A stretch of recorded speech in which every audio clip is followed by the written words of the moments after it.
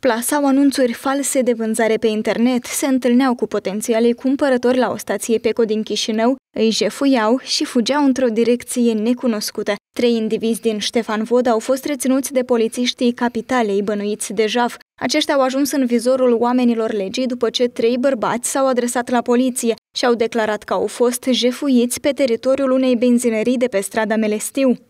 În cadrul cercetărilor s-a constatat că suspecții cu vârstele cuprinse între 23 și 26 de ani și-au găsit potențialele victime pe o aplicație online, sub pretextul vinderei unor bunuri materiale. Tot ei ar fi stabilit întâlnirea cu victimele la acea stație PECO, iar în timp ce purtau discuții, bănuiții lăsau cumpărătorii păcăliți fără bani și plecau într-o direcție necunoscută. În total, celor trei victime le-au fost cauzate prejudicii de peste 200 de mii de lei. În prezent, cei trei suspecți sunt plasați în arest preventiv pentru 30 de zile, iar dacă vina le va fi demonstrată, ei riscă până la șapte ani privare de libertate. De menționat că suspecții au fost cercetați anterior pentru fapte similare.